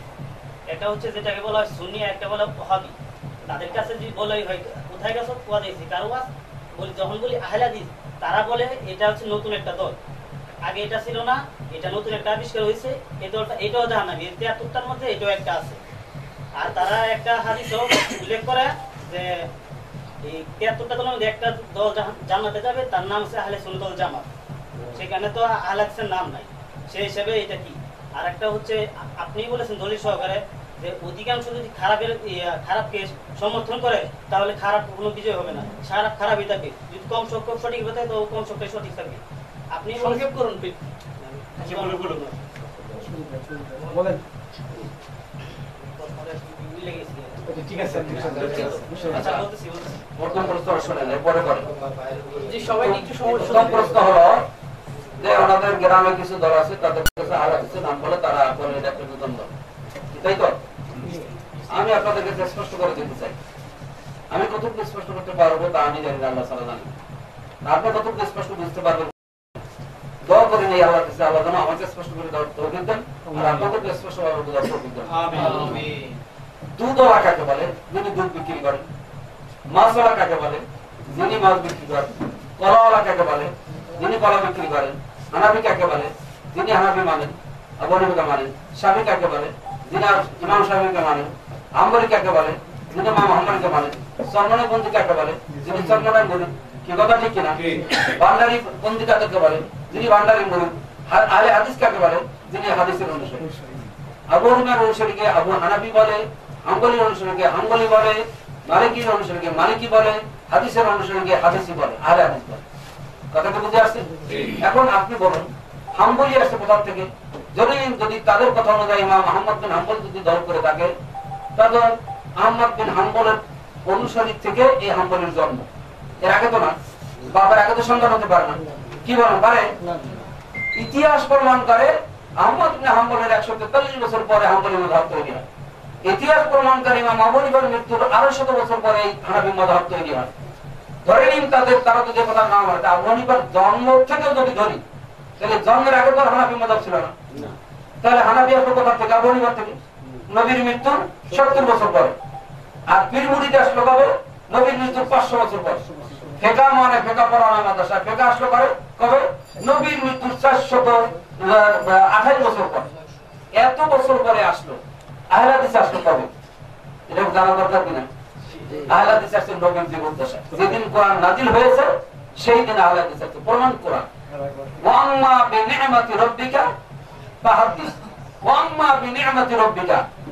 রবের পক্ষ থেকে যে নিয়ামত প্রাপ্ত হন তা বয়ান করুন। সেটা কি কি করুন? বয়ান করুন। নবীর বয়ানকে হাদিস বলছে কোরআনে। ফাহাদ্দিস নবীর কথাকে কি বলছেন? হাদিস বলছেন কোরআনে। এই অনুযায়ী নবীর কথাকে যারা অনুসরণ করে তাদেরকে বলা হয় আহলে হাদিস আহলে কোরআন আহলে জেলে আহলে কি বলে? আহলে সুন্নাত। ওয়াল জামাত।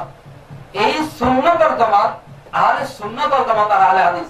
হোয়াট ইজ দ্য ডিফারেন্স মাল ফারকু বাইনাল হাদিস ওয়াস সুন্নাহ সুন্নাত আর হাদিসের মধ্যে পার্থক্য কি? না পার্থক্য নেই। সুন্নাত তাকে বলা হয় হাদিস তাকে বলা হয়। হাদিস তাকে বলা সুন্নাত তাকে বলা কিন্তু তারা নাম দিয়ে বলে যে, আহলে সুন্নাত ওয়াল জামাত। একই জিনিস কিন্তু, একই জিনিস। কিন্তু আহলে হাদিস বলে হোস করে রাখা আর আহলে সুন্নাত বলে কি মিষ্টি মিষ্টি লাগে। একটা মানুষকে যদি বলে, আপনি অস্বীকার করেন অস্বীকার করেন একবার বলল রাগ হবে। এক লক্ষ বার বলল রাগ হবে। আর যদি বলি, বেটা কাফের রেগে যাবে। যাকে বাংলায় অস্বীকারী বলা হয়, আরবিতে তাকে কাফের বলা একই জিনিস। যাকে আহলে সুন্নত জামাত বলা হয়, তাকেই আহলে হাদিস বলা হয়। এখন আহলে জন্ম কবে? যেদিন আল্লাহর পক্ষ থেকে নবীর উপরে অভিনাজিল শুরু হয়েছে, সেই দিন থেকে এই আহলে হাদিসের জন্ম। হুফাজ নামে একটা কিতাব, এই কিতাবের 111 পৃষ্ঠায় আবি রাদিয়াল্লাহু বর্ণনা করেন, আনা হাদিস আমি আহলে হাদিস। যাকে বলা হয় আব্দুল কাদের জিলানী তিনি একটা বই লিখছেন বুনিয়াতুত তালিবিন। 310 নম্বর পৃষ্ঠায় বলছেন যে আল্লাহ নবী বলছেন 73 দল হবে এক দল জান্নাতে যাবে। ওই এক দল কারা? ফিরকাতুন নাজিয়া। ফিরকায়ে নাজিয়া কারা? লা আমি তাদের নাম জানি না। ইল্লা ইসমাহুদুন সির্ফ একটা নাম তাদের। কি সেই নামটা কি? আল্লাহ আহলুল হাদিস। আব্দুল কাদের জিলানী পীরের গুরু যে তিনি বলছেন নাজাত প্রাপ্ত দল করবি? আহলে হাদিস। আর তার লেখা বুনিয়াতুত তালিবিন আন্দারকিল্লাহ থেকে যারা বাংলা প্রকাশিত আমার কাছে আছে। সেই কিতাবের মধ্যে লেখা হয়েছে যে হানাফি মাযহাবরা এরা মুরজিয়া সম্প্রদায়। লেখা হয়েছে আমার বানানো জিনিস না এখন আহলে হাদিস যদি কেউ না বুঝে তারা তো বুঝাইতে পারবে না। এই পৃথিবীর সবথেকে বড় ইমাম সে আহলে হাদিস। পৃথিবীর সবথেকে বড় হলো ইমাম বুখারী সেও আহলে হাদিস। কি কথা ঠিক কিনা? তাহলে বড় ইমাম আহলে হাদিস। আব্দুল কাদের আব্দুল কাদের জালানী বড় সেও আহলে হাদিস। আর নবী তো আহলে হাদিস ছিলেনই। আমরা কোন দলে আছি অনেক চিন্তা ভাবনা করে দেখেন আর আপনি কোন দলে আছেন একটু চিন্তা ভাবনা করে দেখেন আশা করি বুঝতে ভুলাবেন জি আশা করি প্রশ্নটি উত্তর পেয়েছেন পিছনে আরেকটা জি জি বলেন আমাদের সমাজে অনেকেই নবীর আহ, সালাম সম্মান করে হাজির বা নাজির এভাবে করে আর কি। হাজির নাজির করে। আরেকটা হচ্ছে অনেকে পীরের মুরিদ না ব্যস্ত যাওয়া যাবে না। এরকম একটা কথা একটি প্রশ্ন দাঁড়িয়ে মিলাদ পড়া হয়। আচ্ছা কেন দাঁড়িয়ে মিলাদ পড়বেন এক নম্বর হলো, আপনার প্রশ্নের উত্তর ভালো করে শুনে নিন। মিলাদ বলতে কোন জিনিস ইসলামী শরিয়াতে নাই। মিলাদ বলতে জিনিসটাই আছে দরুদ প্রমাণ, কোরআন শরীফে 22 পারা সূরা আহজাব 56 নম্বর আয়াত। ইয়া আমানু আলাইহি ওয়া তাসলিমা। মুমিনরা, তোমরা নবীর উপরে দরুদ এবং সালাম পাঠাও। সাহাবীরা প্রশ্ন করলেন, মেশকাতের 858 নম্বর হাদিস। যে, হে আল্লাহর নবী আলাইকা, আমরা দরুদ কেমনে সালাম শিখেলেন আসসালামু আলাইকুম। কিন্তু দরুদটা কেমনে পাঠাবো কোন ওয়া আলা আলি মুহাম্মাদ কামা দরুদ ইব্রাহিম আল্লাহ নবী শিখিয়ে গেলেন স্পষ্ট? এরপরে দাঁড়াবেন কেন যারা তারা তাদের আকীদা নবীর মাধ্যমে মিলাদের আসে।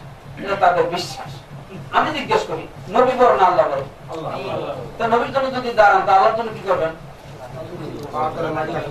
নবীর জন্য দরুদ পড়া নামাজ কার জন্য পড়া হয়? নামাজ যদি দরুদ যদি দাঁড়াই পড়তে হয় তা নামাজ তো কাছে পড়তে হবে। কত বড় নেক্সটি আকিদা। নবী যদি সত্যি আসেন তাহলে পৃথিবীর একই সময় বিভিন্ন জায়গায় মিলাদ হয় না একই জায়গায় হয়? নবী কয়জন একজন একটু জায়গায়। এই যে হলো পারস্য দেশের কারও তৈরি করা পদ্ধতি এটা মদিনার পদ্ধতি নয়। রসুলের জীবদ্দশায় একটা দিন নবীর জন্য সাহাবিরা দাঁড়িয়েছেন, এর কোন প্রমাণ এই পৃথিবীর হাদিস তো দুর্গতা গাছের পাতায় লাগানো অর্থাৎ যে নবীর জন্য দাঁড়ানো যায় নাই, সাহাব জীবদ্দশায় জীবদ্দশায় সশরীরে নবী সাহাবিদের কাছে আসছেন। তার জন্য যেই সাহাবিরা দাঁড়ায় নাই, সেই নবী মরে গিয়েছেন, সেই নবীর জন্য যারা দাঁড়ায় তারা নবীর কশ্চিন কারও নবীর উন্মত হতে পারে না নবীর দুশ্মন ছাড়া আর কিছুই না।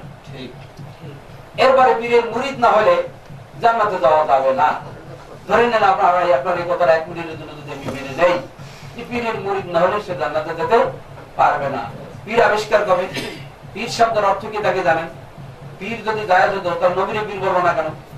আবু বকর ওসমান আলী যদি পীর বলা হলো না কেন? পীর শব্দের অর্থ হলো কি? শারীরিক অবস্থার মধ্যে দেখবেন পে ইয়ারে এই শখের মধ্যে পাঁচশত একুশ, একত্রিশ পৃষ্ঠার একুশ লাইন শারীরিক অবস্থা লিডার মদের বোতলের উপরে লেখা আছে হাউস অফ পিস মদ লিডিং তাকে বলা হয় সম্মানিত উপস্থিতি, তবে আমি জানি যে দেশে ভালো ভালো মানুষের নামের সাথে কেন যোগ আমার জানা নেই। এরপরে ধরে নিন, পীরের সে যদি জান্নাতে যেতে না পারে, সর্বপ্রথম পীর হলো কে? না। আব্দুল কাদের পীর যদি কোন ইসলামী ডেজিগনেশন হয় তাহলে সে তো সর্বপ্রথম হবে রসুল। রসুলের পীর নামে তারা আব্দুল কাদের জেলানি বড় পীর মানে তারা নবীকে সম্মান দিল না অপমান করল তাহলে এবার বুঝতে দেখুন এরপরে পীর না মানলে যদি জাহান নামে যেতে হয় তাহলে নবীর যুগে তারা তো নবী পীর ছিল না। সাহাবিরা পীর মানে নাই তাবিরা পীর মানে নাই তাবি তাবিরা পীর মানে নাই। ইমামরা পীর মানে নাই ছয় মহাদিসরা কেউ ইমাম পীর মানে নাই। তাহলে তারা কোথায় যাবে? আমি জিজ্ঞেস করি পাঁচশত বছরের পূর্বে মানুষ ছিল না ছিল না? পীর আবিষ্কার হয়েছে নবীর মৃত্যুর পাঁচশত বছর পর। এই পাঁচশত বছরের ভিতরে সাহাবিরা ছিল তাবিরা ছিল তাবি তাবি ছিল আবু ওসমানে তাদেরকে তো আল্লাহ দিয়েছেন তাহলে তারা যদি পীর ছাড়া জান্নাতে যেতে পারে ইনশাআল্লাহ আহলে হাদিসরাও পীর ছাড়া জান্নাতে যেতে পারবে তাদের পীর দরকার হবে না। Next question. আমাদের স্লিপে একটা প্রশ্ন ছিল যে পীরের মুরিদ না হলে জান্নাতে যাওয়া যাবে না। এই প্রশ্নের অলরেডি আমাদের শাইখ দিয়ে দিয়েছেন। নবীজি নূরের তৈরি। হ্যাঁ এটা জি। নবীজি কি নূরের তৈরি? নবীজির নূর মানুষের মধ্যে আছে? আচ্ছা আমি জিজ্ঞেস করলে আল্লাহ কিসের তৈরি? আপনারা জানেন আল্লাহ কিসের তৈরি? নূরে। আল্লাহ কিসের? নূরে। আল্লাহ নূরে। আচ্ছা যদি নবীও নূরের হয় তা নবী কি আল্লাহর অংশ হইল কিনা? না।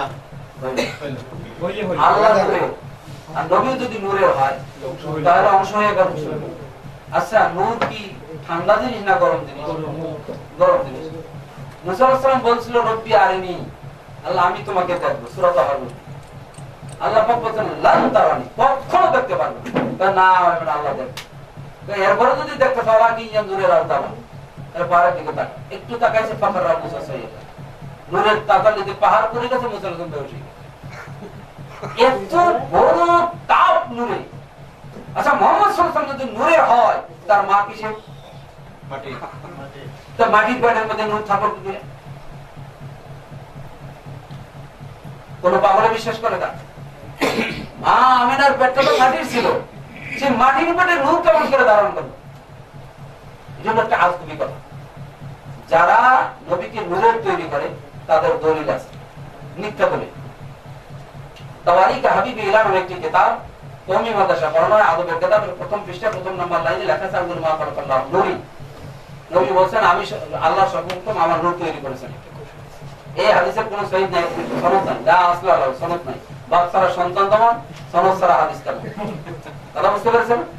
এরপরে দলিত সুরায় মায়েদার পনেরো নম্বর আল্লাহর পক্ষ থেকে এসেছে কি? নূরুন ওয়া কিতাবুন মুবিন। আলো এবং স্পষ্ট দলিল। আলো মানে মোহাম্মদ। হ্যাঁ? ঠিক। আছে। মোহাম্মদ আলো ঠিক আছে। এখন আলেমও আলো। মোহাম্মদ আল্লাহর পক্ষ থেকে আলো বিতরণ করছেন, হেদায়েতের আলো। তাই বলে নূর দিয়ে নবীকে সৃষ্টি করছেন এই কথাই আয়াতের মধ্যে ঠিক সূরা কাহাফের 110 আয়াতে বলছেন কুল ইন্নামা আনা মিসলুকুম নবী তুমি বলে দাও আমি তোমাদের মতো মানুষ। সূরা সদের 71 নম্বর আয়াতে বলছেন আমি মানুষ সৃষ্টি করেছি মাটি দিয়ে। নবী সাল্লাল্লাহু মানুষ নাকি? মানুষ। নাকি? মানুষ। মানুষ। নবীকে যদি ফেরেশতা বলেন তাহলে নবীকে অপমান করা হবে কিনা? অপমান। লাকাত কাররামনা বানি আদম। সৃষ্টি সেরা কোন জাতি? মানুষ না ফেরেশতা? মানুষ। নবীকে যদি মানুষ না মানে ফেরেশতা বানায় নবী তো আরও ছোট বানাইলে ছোট মানে অর্থাৎ নবী মানুষ। আর মানুষ সৃষ্টি কিসের? মাটি। মাটির সূরা সাদ 71 নম্বর অর্থাৎ নবী মাটির তৈরি এটা কোরআন প্রমাণ করছে। আমার বাপের কথা নয়। যারা নবীকে নূরের তৈরি মনে করেন তারা অবশ্যই ভুলের মধ্যে নিমজ্জিত রয়েছেন। তওবা করে আল্লাহ তাদেরকে সঠিক সিদ্ধান্ত গ্রহণ করার তৌফিক দান হ্যাঁ? তৈরি না?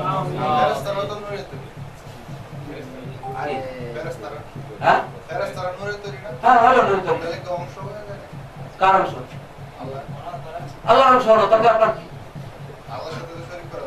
আল্লাহ করে আপনি কি করতেছেন না না আপনি কি না না প্রশ্ন হলো মোহাম্মদ সাল্লাম কিসের তৈরি? আমরা যত প্রশ্ন জিজ্ঞাসা না ফেরেস্তা কিসের তৈরি? শরীক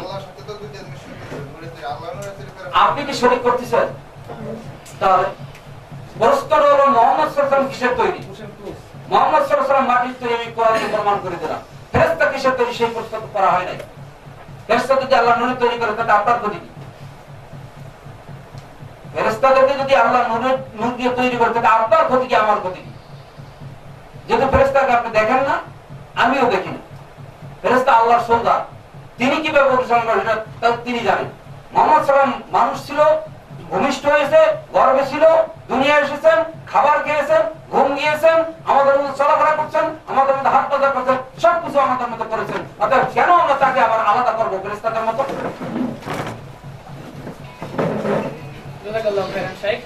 আমরা দুঃখিত, আমরা আর দু একটা প্রশ্ন নেব, তারপর আমরা আজকের এই সেমিনার আপাতত জি জি।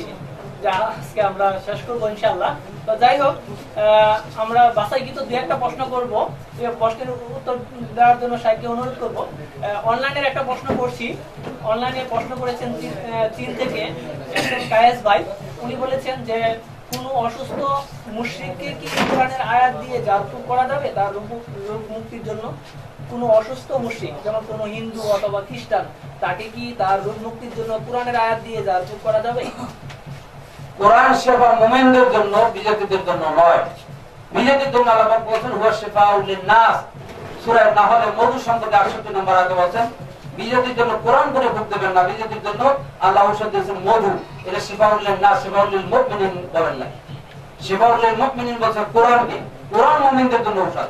আর কোরআনের সমস্ত মানুষের জন্য ঔষধ হিসেবে বলছেন মধু। মধু সকল মানুষের জন্য উপকারী। অতএব কোরআনের এই আইন অনুযায়ী মধু যে কোনো মানুষকে খাওয়াইতে পারবেন। আর কোরআন দিয়ে যার পক্ষে কোনো মমিনকে দিতে পারবেন বেদের নিতে পারবেন। জি আশা করি এস এম কায়েস ভাই আপনার প্রশ্নের উত্তরটি পেয়েছেন। জাযাকাল্লাহু খাইরান সাহেব। আর জি এবার এই ভাই প্রশ্ন করুন। জি। ও আয়াত আমি বলে গেছি সূরা বনি ইসরাইল ওয়ানাজিলু মিনাল কুরআনি মা শিফাউন ওয়া রাহমাতুল লিল মুমিনিন কোরআন সেবা মুমিনদের জন্য কোরআনে আয়াত বলছে। আর সকল মানুষের জন্য বলছে বলুন এটা কোরআনের সূরা নাম। জি ভাই প্রথমে ওনাকে দিন তারপরে আপনি প্রশ্ন করবেন ইনশাআল্লাহ। জি জি তো হাত এখানে বাঁধি এখানে তো লিখছি কোরআনে।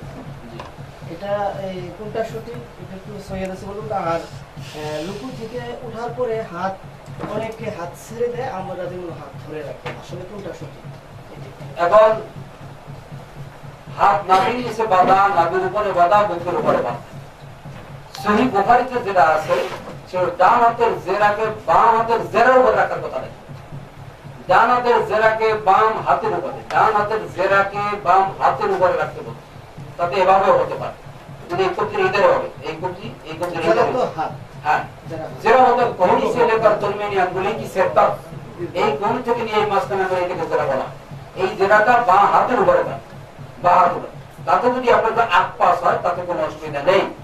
আর বুকে হাত বাঁধা চাইতে নাভির উপরে বা বুকের নিচে এর হাদিসের সংখ্যা বেশি। কিন্তু নাভির নিচের কোন সহি হাদিস নেই। এক, দ্বিতীয় কথা সামিউল্লাহ হলে আমি বলে রব্বানা লাকাল হামদ বলে হাত উঁচু করে রাখবেন না ছেড়ে দিবেন না বুকে বাঁধবেন। এই কথাটা হাদিসে স্পষ্ট নেই। এই কথাটা স্পষ্ট নেই কেউ যেতে বাদে কেউ ছেড়ে দেয় কেউ উঁচু করে রাখে। তবে যেইটা আপনাদের মধ্যে চালু হচ্ছে সেটা একটা করতে গেলে তার সৃষ্টি না। জি এবার প্রশ্ন করবেন আপনি ভাই। দীর্ঘদিন তো আমাদের বয়স তো গেল ওইভাবে নামাজ আদায় করছি। না হানাবি মাদাবে ভাবে আর এখন আমরা যে আহলে হাদিসের দাওয়াতটা পাইলাম বেশ কিছু যেমন আমিও ফলো করি। কিন্তু জামাত কিন্তু পুরুষের জন্য অপরিহার্য। আমার আশেপাশে কোথাও তো আহলে হাদিসের এমামতি পাইতেছি না। এখন আমি কীভাবে করতেছে নামাজটা পড়ব আবার পড়ব কিনা? যদি একটু কষ্ট আপনার বাড়িতে যারা আছে বাচ্চা কাচ্চা তাদের কিন্তু আপনি নামাজ পড়বেন যদি মসজিদ কাছে না থাকে। জমা একটু দূরে গিয়ে পড়বেন। দূরে তো পাওয়া যাইতেছে না না পাওয়া গেলে আপনার ঘরে পড়বেন। ইমাম ছাড়া তিনজন তিনজন মুক্ত ধরে যেমন নামাজ আচ্ছা আমাদের তোমরা যা পারেন সেই সেই আমাদের ঠিকানা দিয়ে দেন। সরকার কোথায় হবে? আহ, জি আরেক ভাই। তাদের সাথে খবর রাখবেন। পিছনে জি। অন্য অন্য ধর্মের লোকদের বা সংগঠনকে কি সহায়তা করা যায় কিনা? আর্থিকভাবে হোক বা যে অন্য ধর্মের লোকদেরকে সাহায্য করতে পারবেন কি না বা কোনো সংগঠন। সূরা তওবা 23 নম্বর আয়াত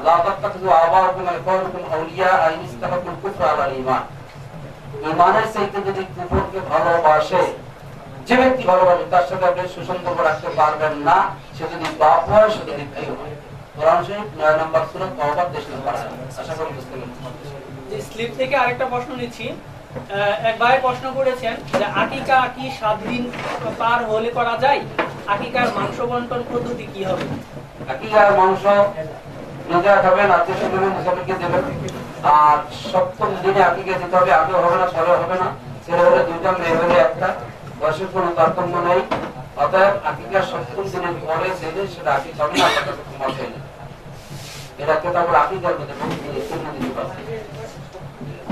সম্মানিত উপস্থিতি, আমাদের হাতে যে অনেক প্রশ্ন রয়েছে আরেকটা প্রশ্ন অনলাইনেও বেশ কিছু প্রশ্ন রয়েছে। কিন্তু দুঃখিত, আমরা আমাদের এই সেমিনারটাকে আরও লম্বায়িত, লম্বা করতে চাচ্ছি না। আমরা শেষ করতে যাচ্ছি, ইনশাআল্লাহ। তার আগে অনলাইনের একটা প্রশ্ন নিচ্ছি। আর অনলাইনে ভাই প্রশ্ন করেছেন যে, নবী সাল্লাল্লাহু আলাইহি সাল্লাম ও জিব্রাইল আলাইহিস সালাম ছাড়া অন্য কেউ ফেরেশতাদের দেখেছেন কিনা? প্রশ্নটি করেছেন ইতালি থেকে আব্দুল কাইম ভাই। যে নবী নবী করিম সাল্লাল্লাহু আলাইহি সাল্লাম এবং জিবরাইল আলাইহিস সালাম ছাড়া অন্য কেউ ফেরেশতাদের দেখেছেন কি? জি, ফেরেশতাকে দেখেছেন। মিশকাতের দ্বিতীয় নম্বর হাদিস। আব্দুল্লাহ ওমর ওমর রাদিয়াল্লাহু বর্ণনা করেন যে আমরা রাসূলের কাছে বসা ছিলাম। এক ব্যক্তি আসলেন, এসে রাসূলের কাছে বসলেন হাঁটু দিয়ে দুই হাঁটু তার সঙ্গের মতো বসলেন, হাঁটুর সাথে মিলিয়ে। তিনি জিজ্ঞেস করেন ইয়া মোহাম্মদ আব্দুল নিয়ামুল ইসলাম, ইয়া মোহাম্মদ আব্দুল নিয়ামুল ইমান, ইয়া মোহাম্মদ আব্দুল নিয়ামুল ইসলাম। তিনটা প্রশ্ন করলেন প্রশ্ন করার পরে তিনি চলে গেলেন। আমরা জিজ্ঞেস করলাম, ইয়া রাসূলুল্লাহ, তিনি কে? আল্লাহ নবী বলেন জিবরিল আলাইহিস সালাম। তিনি আমাদেরকে দিন ও ঈমান শিক্ষা দেওয়ার জন্য এসেছিলেন। আশা করি বুঝতে পেরেছেন। কাইম ভাই, আশা করি আপনি আপনার প্রশ্নটির উত্তর পেয়েছেন। আমরা সরাসরি আরেকটা প্রশ্ন নিব। জি, এবারে শেষ প্রশ্ন আমি আপনাদের বলে রাখছি যে আমরা সরাসরি আর কোনো প্রশ্ন নেব না। অনলাইন থেকেও আর কোনো প্রশ্ন নেব না এবং স্লিপ থেকেও না। আমরা এটাই শেষ প্রশ্ন। আজকের সেমিনারের এটাই শেষ প্রশ্ন। জি ভাই, প্রশ্ন আমরা লেখাপড়া করতেছি। ভবিষ্যতে যখন আমরা চাকরি করব, যোগ্যতার ক্ষেত্রে যখন সরকারি চাকরি পাবো ঘোষণা দিয়ে সরকার ব্যবস্থা মহিলা এবং যে গণতন্ত্রটাকে বলা হয় ইসলামে এই হারাম বলা হয়েছে। এখন এই ইসলাম ব্যবস্থা আমাদের সরকার পরিচালনা করতেছে একজন অগণিত যে ইসলাম পন্থী এখন আমাদের যে করব এখানে কি ইসলামে হবে কি? আমাদের চাকরিটা আমরা অগণতান্ত্রিক সরকার বলে সেটাকে হারাম করছেন আপনি যে লেখাপড়াটা করছেন ওটাও হারাম আপনি যে লেখাপড়াটা শিখছেন, ওইটাও হারাম পদ্ধতি শিখছেন। এটা কোনো মুসলমানদের লেখাপড়া নয়। এই দেশে যে শিক্ষা ব্যবস্থা গুলো আছে, তার মধ্যে একেবারে নির্ভুল শিক্ষা ব্যবস্থা কোনোটাই নয়। তার মধ্যে অনেক হারাম জড়িত আছে। আপনি যদি জেনারেল লাইনে পড়ে থাকেন, তাহলে জেনারেল লাইনে যদি এই উদ্দেশ্য করেন যে আমি যদি মাস্টার্স অর্জন করতে পারি, তাহলে সার্টিফিকেট হবে সার্টিফিকেট চাকরি করব চাকরি পেলে আমার টাকা হবে। তাহলে আপনি মুশ্রিক হয়ে গেছেন। তার কারণ মিশকাতের বাহাত্তর নম্বর আছে তারপরে আল্লাহুল মাকাদির রাকুল লাইয়াতুকা সামাওয়াত ওয়াল আরদ ফাসানাতে আসমান আর জমিন সৃষ্টি করার 50 হাজার বছর আগে আল্লাহ মানুষের ভাগ্য লিখে রেখেছেন। অথবা আপনি সেই বিশ্বাস না করে আপনি সার্টিফিকেটের উপর বিশ্বাস করেছেন অথবা আপনি শিরিক করেছেন। এই উদ্দেশ্যে কোনো ব্যক্তি লেখাপড়া করতে পারবে না। ইভেন কোন ব্যক্তি যদি পকেটে কোনো ডিসি এসপি অথবা দারোগা বা কোনো মন্ত্রীর নাম্বার রাখে এই উদ্দেশ্যে যে বিপদে পড়লে তাকে ফোন করলে আমি সাহায্য পাবো। আপনিও মুর্শেদ তার মানে আপনার আল্লাহর উপরে ভরসা নাই আপনার ভরসা হচ্ছে ডিসি এসপি অতএব এই আকিদা দূর করতে হবে। এই আকিদা থাকলে সে থাকবে না। যদি থাকে আপনার এখন ডিলিট করে ফেলার ওই নাম্বার তার